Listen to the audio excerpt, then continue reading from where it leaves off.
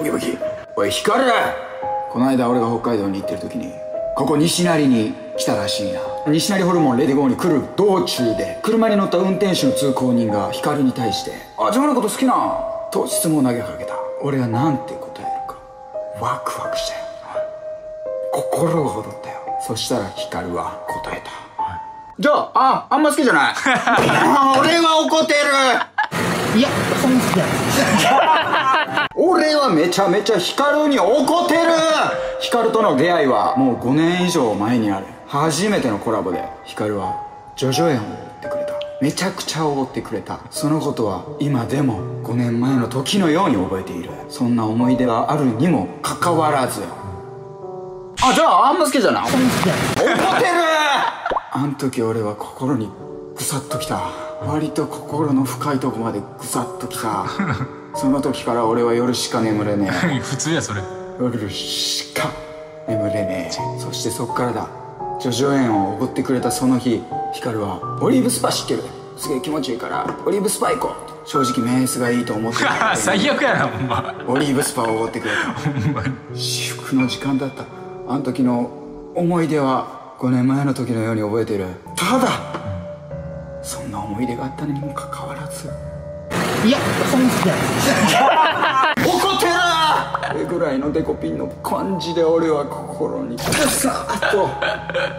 刺さった針がまだ抜けてね。だから光に。今この動画を撮っている。うん。